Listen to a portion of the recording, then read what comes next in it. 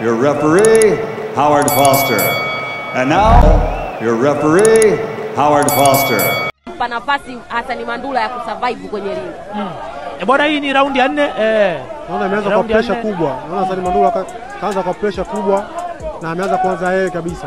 Sasa sijajua kwamba Jumaa ataendelea kucheza na mchezo wake tu ule ule wa kuingia ndani au atamwachia ata, ata, ata, ata, ata, ata, ata, atamwachia nafasi kidogo aweze kutumia urefu wake Jumaa kuweza ku, ku, ku, kumuhini Hasani Mandura.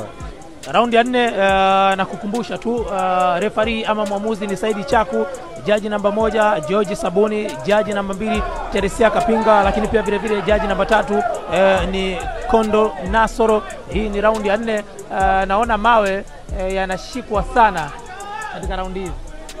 Ya, ni raundi ya nne.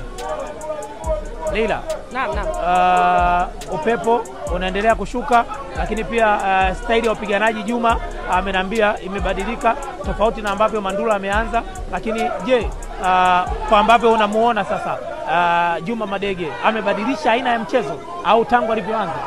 Of course Juma Madege amebadilika kwa kiasi kikubwa, kwa sababu mwanzo alivyoanza alikuwa anapiga ngumi moja moja, alikuwa anapiga ngumi moja moja, lakini sasa hivi ana, ana, ana, anaunga ngumi, anaunga ngumi na amekuwa ameconcentrate na mpinzani wake, yani yani ameconcentrate na, na mtu wake kwamba kivyovyote hautoki, ana force knockout, lakini asa Your referee, Howard Foster.